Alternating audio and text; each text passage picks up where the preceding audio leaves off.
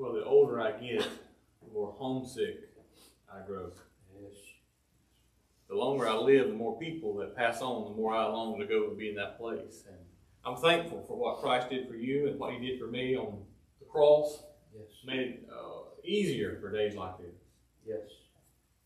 I want to leave you with some words that Jesus spoke to His disciples at the latter part of His life. You know, oftentimes uh, I say this about the disciples. They weren't always, they didn't always listen. They weren't always the smartest men. Jesus plainly left it for them, but they didn't always grasp what he had to say to them.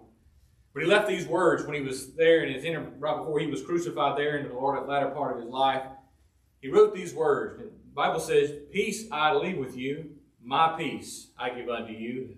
Not as the world giveth, give I unto you. Let not your hearts be troubled, neither let it be afraid.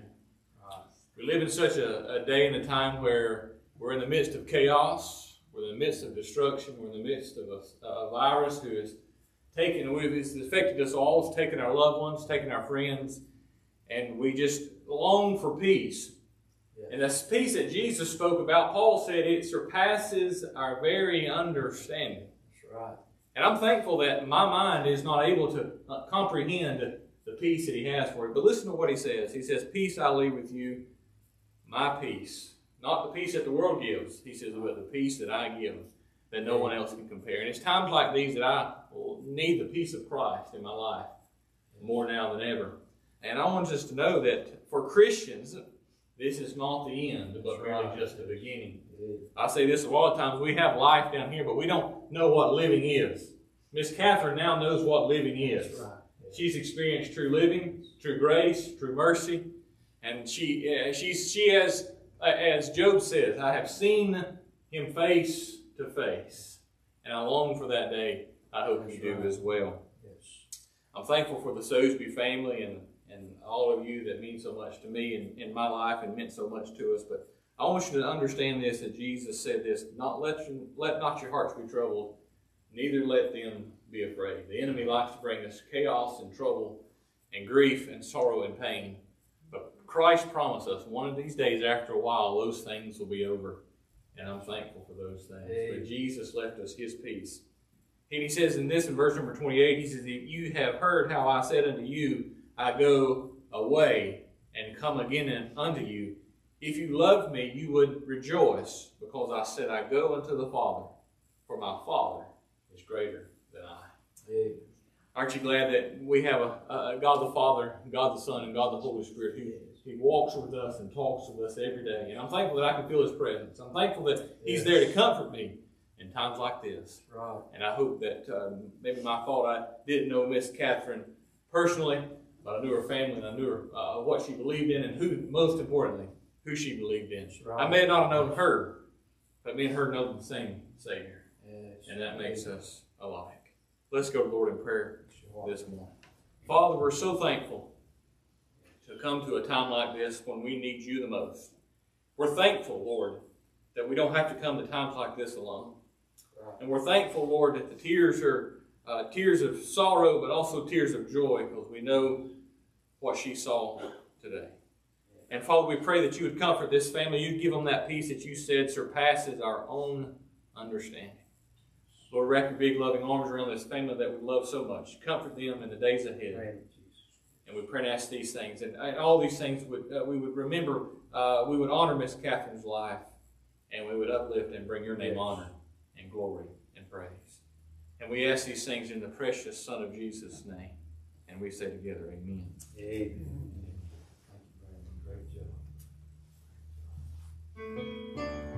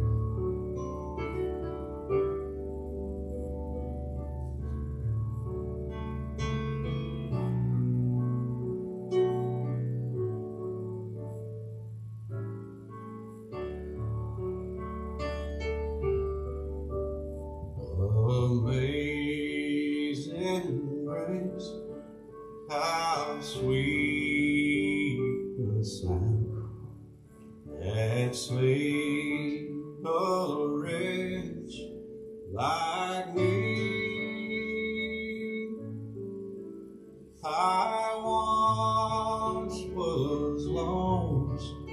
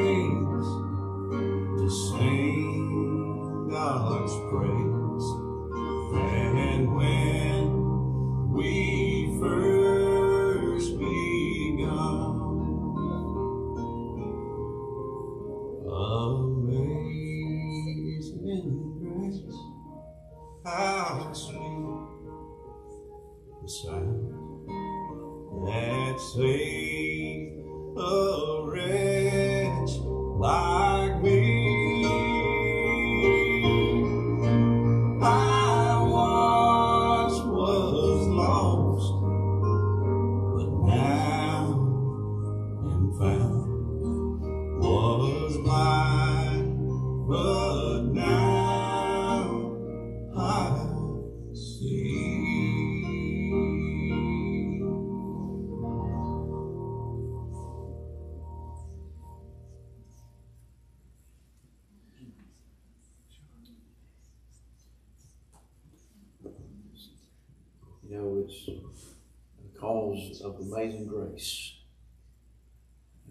experience that wonderful peace.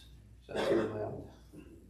Uh, wonderful peace that Brandon was talking about that only the Lord Jesus Christ can give, especially in a time like this. Because of amazing grace, we can look forward to Beulah land. Uh, there's been a few times, when we, me and Linda was talking about COVID. Uh, it was uh, that first night I was beginning to wonder if I was beginning to look over. Uh, but aren't isn't it wonderful to know because of God's amazing grace? This isn't it. Amen. We we've got the Lord with us. We have His peace, and Brandon, uh, outstanding job this morning. We again we appreciate Brandon and all he's done to help Ricky and and his staff here at the funeral home. And families we sit in there, we love you. We appreciate you uh, today. I'm going to share some memories. And I'm sure every one of us, we could probably spend all day here sharing memories about Aunt Katherine. And you'll hear me refer to her as great Aunt Katherine. She was my great aunt.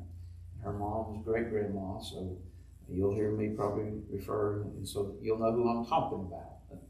Uh, but Katherine Elizabeth Sosebee, as it's been said, was born in June the 13th, 1929. She was born at home up at Saltina Coochie. Her name, she was named after her aunts.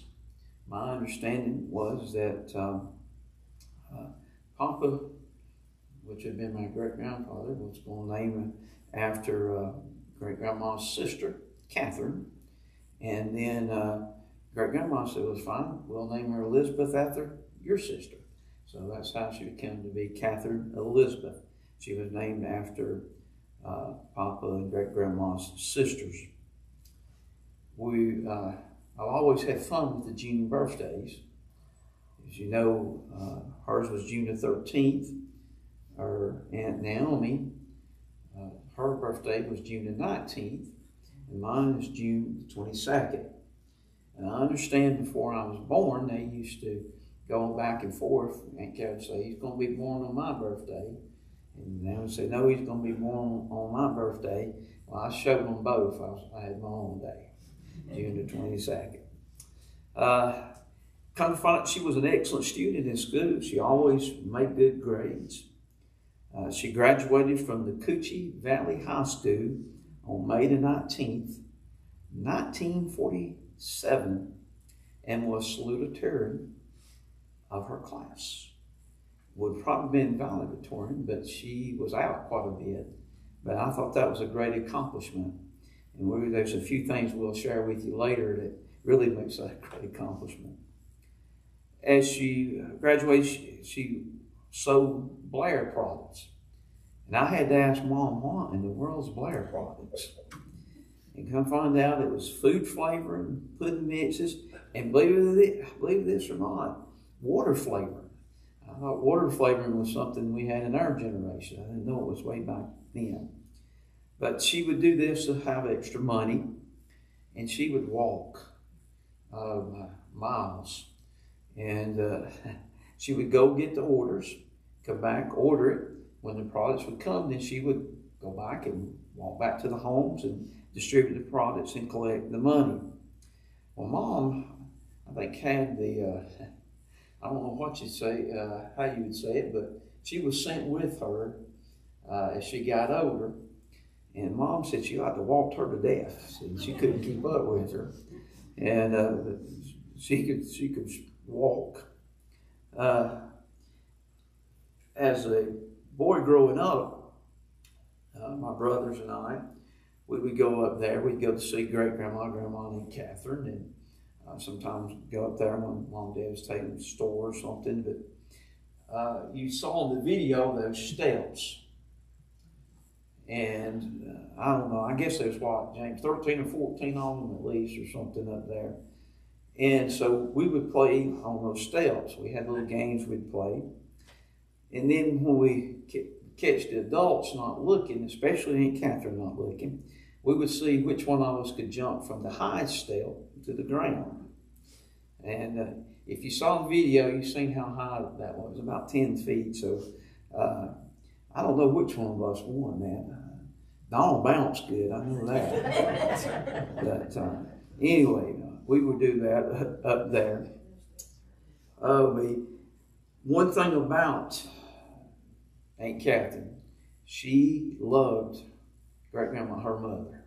Uh, she she loved her, and she took care of her and grandma and different ones would come in, but uh, she loved her. But when great grandma passed, it was a difficult time for her. And uh, I remember Lloyd and Dawn used to go up at nights and stay with them. And I remember one time I went up there and spent the night with them. And I we'd just sit out there in the room and just talked. And I look back, that was such a fond memory. As I'm gotten older, there's not a lot of things I remember, but I do remember us just sitting out there and talking, and what a good time of fellowship uh, we had together. Shortly after my calling to preach, Brendan, I, I made a mistake as a young minister. I uh, wanted to be a great man of God. And so I said, Lord, I'm going to be patient. And so I prayed, Lord, help me be patient. Well, I'm going to tell you what. After that, I began to have troubles and trials. I mean, from this side and that side. And I'll be honest with you, I was getting discouraged. And so often I would go up there to Grandma Aunt Katherine's, and I would pray up there on the side of the hill. So I was pretty down, so I went up there and got up on the side of the hill, and I, I told, well, they came out to meet me, and I said, I'm going to go up here and pray. And it's okay. And so I went up there and prayed, and I come back and sit down in the uh, room there with them, and they said, you look discouraged. And I began to explain to them what was happening. Well, I want to tell you what. Aunt Katherine and my grandma began to laugh. Now, I didn't think it was a bit funny. And uh, they were laughing. And finally, when I looked over and said, Well, Milton, you asked for it. I said, I certainly did not. They said, You did. What does the Bible say? It's through trials and tribulations that patience comes. And she said, You prayed for it, you asked for it, and the Lord's just giving you what you asked for. And uh, I said, Oh, me.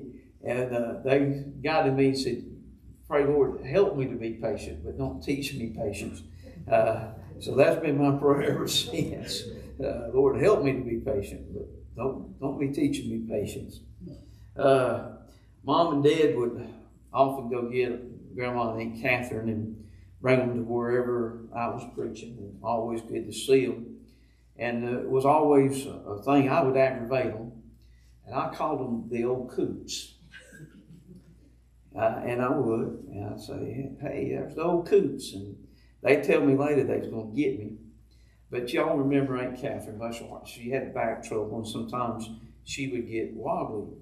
And, and she'd grab hold of something, and I'd, I'd kid her and say, well, see, Aunt Katherine's had too much of the recipe today. You're gonna need some help. And she looked, said, Milton Harris, I'm gonna get you. And uh, she would smile.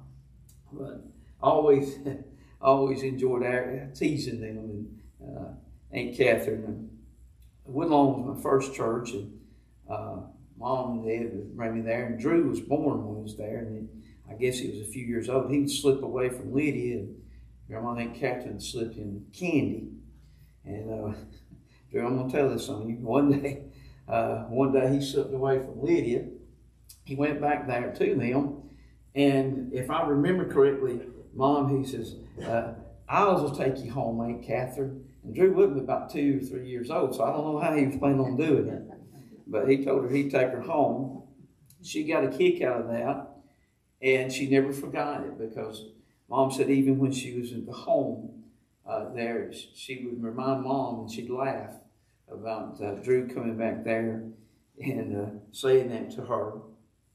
We were at Blue Creek, was passing there, and one Sunday morning, Mom and Dad, Grandma and Aunt Katherine sat back there on the back pew. Well, I heard a commotion, and I turned around and I, and I couldn't even see Mom. And I could see Danny's eyes, and there in the top of their heads. And what happened, the back pew had, had broke, and they just went, went down, down, and I kind of heard them go, ah, you know, how they, uh, we, I don't know I'm sure a lot of y'all that we go visit her at, at Christmas time, and that wood heater will be going full blast. Now, let me say, before I was diagnosed with RA, it was a little uncomfortable. Well, sometimes it was a lot uncomfortable. I got as far away as I could.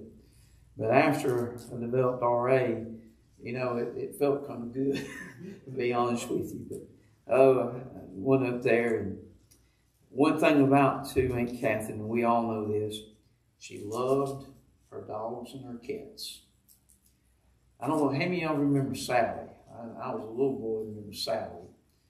And then Lieutenant, the German Shepherd that stayed in the house with him, uh, Lieutenant. And uh, uh, you spoil your animals. Now, you talking about a spoiled dog. Now, that, that was one. And then it came the cats.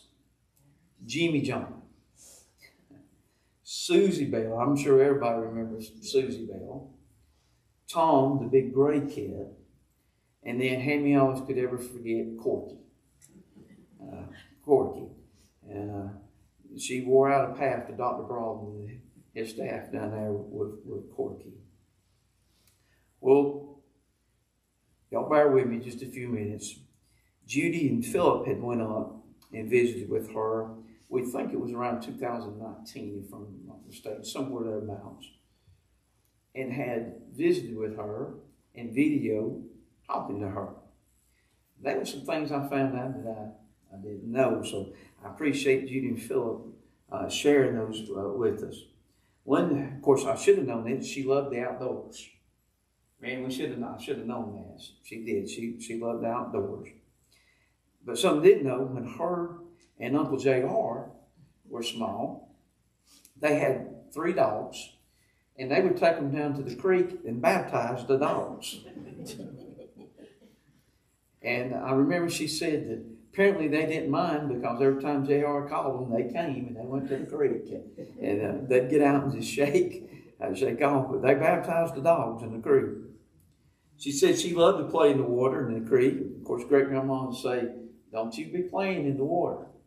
So she'd slip off, of course, and she would go play in the water. But she'd, she'd always got in trouble because she'd end up with a sore throat, a earache, or something. And great grandma always knew what she'd done. She'd slipped off and played in the creek. Dolls were her favorite toy. And when she said she was about six or seven, she had a special doll she called Peggy Anna. Peggy Anna. Good night. It's 91, so that's been what, about 85 years ago. Uh, I remember this, and I thought this was amazing. Ruth and Aunt Katherine would sing hymns while doing the dishes. And uh, I didn't know, I, I never really ever heard her sing before, but apparently they harmonized and, and sing. That here's something that just floored me. She hated school. I could not believe that. As smart as she was, and as good grades as she made, she hated schools. And so the teachers one day come to her and wanted to know, said, why do you hate school so bad? She said, do you want the truth? And they said, yes. Uh, she said, well, I feel like I'm in prison. She said, but now if he's had it outside, it'd be good. uh, her favorite subject in school was history. Her favorite colors were pink, rose color, in red. World War II, she said, changed everything. Hoyt was married and was not drafted.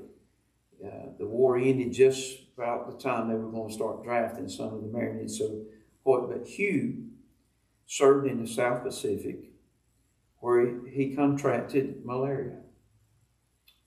J.R. served in the European campaign and was wounded in the leg, which I understand the things from World War II went with both of them for the rest of their life. Uh, she said that they would write home and update him on how he was doing. And, and she said JR would write to her as well. And uh, she said lots of times the letter from JR Aunt Katherine's would come before great grandma's. I don't know if great grandma appreciated that or not. She told about how some of the family came out here from Alabama on a wagon train right after the war between the states. Uh, we could go on and on. But uh, the Christmas cards and the encouragement she gave us all, she loved her family. She loved every one of them. She did. Even sometimes when we were a little aggravating, she still loved us. She loved her family. But I'm going to say this more importantly, more importantly, she loved the Lord. She loved the Lord. And that's what makes these memories today a blessing and a comfort. Is because her testimony that she leaves us, that she knows the Lord Jesus Christ as her personal Savior. Notice I used the present tense because she knows it now more than ever. She knows the Lord. Solomon wrote this The memory of the just is blessed. Who are the just? Those that are justified. Paul said, Therefore, being justified by faith, we have peace with God through our Lord Jesus Christ. And it's because of that today that these memories are so precious.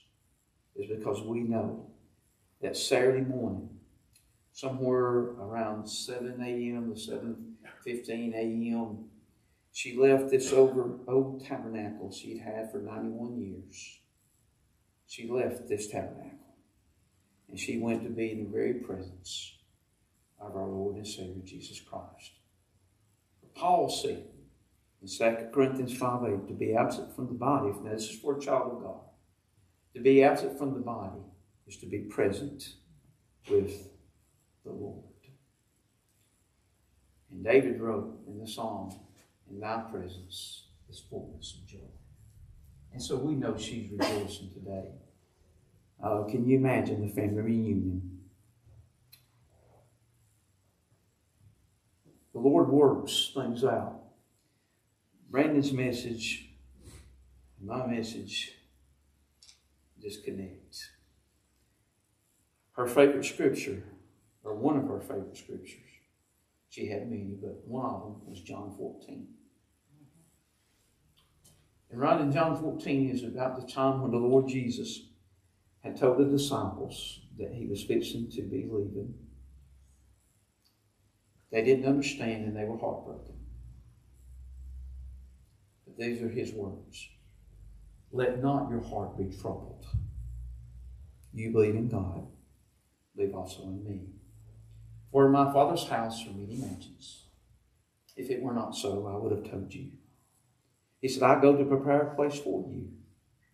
And if I go prepare a place for you, I will come again and receive you unto myself, that where I am, there you may be also. And whither I go, you know, and the way you know. Thomas said unto him, Lord, we know not whither I go. How can we know the way? Jesus said unto him, I am the way, the truth, the life. No man come unto the Father but by me. In those scripture, Jesus understood and he knew their sorrow. He knew their grief. He knew what they were experiencing. But he told them, he said, Let not your heart be troubled. And Jesus Christ, I, I felt his Holy Spirit here today. And I believe if he could stand here in person, he would say, I understand your sorrow. You're going to miss. You're going to miss. But don't let your heart be troubled. Don't let your heart be troubled. He spoke peace, as Brandon brought out, peace that only He can give. He made a promise. He's coming again. And there is going to be a great reunion for all of us that are saved, born again. There's going to be a great reunion. Made a promise. He's coming again. He talked about a place, a place called heaven. But more importantly, the path is through Jesus Christ. Family, I hope every one of you here today, I, hope you just don't know about the Lord, but I hope you know Him personally in a personal relationship. Because the only way we're going to be reunited when this life's over is for all of us to be born again, be saved, and know the Lord Jesus Christ as our Savior. This lady here influenced so many of us. I heard some of them in there, Mr. Powell, and some of the others talking about how she had influenced them. And I'm sure she, she's influenced every one of us. I know she has me. She was always an encouragement. But I'm so thankful. I know where she's at. I'm going to join her. I don't know when. Maybe soon. I don't know. But I'm going to join her one day. I'm looking forward to that day. I'm looking forward to that day. Heavenly Father, again, we thank you for this dear, precious saint. Thank you for her life and for her love. Lord, we thank you for the promise. One day after a while, we will be reunited. Oh, what a great and grand reunion that's going to be. Thank you, Lord, for that promise. But Lord, till that day comes, continue to strengthen us, encourage us, comfort us. Help us not only today, but in the days to come. Help us always to do your will and do that that would be pleasing in your sight. Now, Lord, we thank you for everyone that's helped. Thank you for Brandon, for Ricky, and the staff, for everything that's been said and done, for Brandon's message. Lord, we thank you. And Lord, we just ask you now to continue to lift us up. We'll be mighty careful to give you all the praise, honor, and glory. For it's in Jesus' precious and most holy name we pray. Amen. Amen. Love you, family. Love you. God bless you. When there be a help, call us.